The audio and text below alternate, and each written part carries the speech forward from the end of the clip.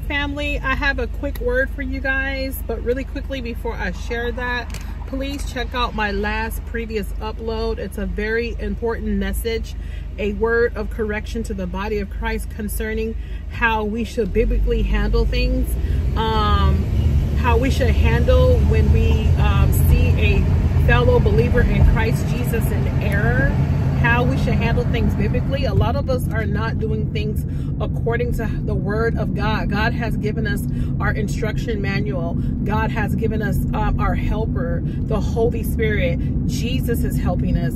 So um, go past this light. Then at the next one, turn left. Sorry about that. We have the Father, the Son, and the Holy Spirit to help us. So we need to repent. We need to walk in brotherly At the light, use the left two lanes to turn onto South Harbor Boulevard yes we need to walk in brotherly love. And so check out that um, video you guys. It's really a family meeting. God said it's time to have a family meeting. It's just like any other family when there's an issue turn left situation in the family and we all need to come together that family needs to come together and sit down and just talk things out that's exactly what god said this morning before i got into that video he said we need to have a family meeting because we are a family in Christ Jesus, right? And so make sure you check out that. In half a mile, make a U-turn at South Manchester Avenue.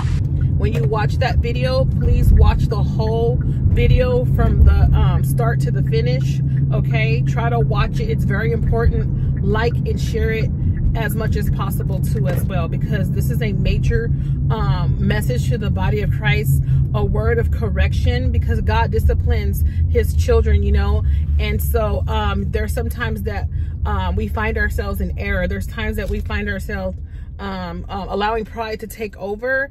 And so please, please, please check out that video, you guys. It's already up. It's already available. I see a few of you have watched it. And yeah, there's more videos to come.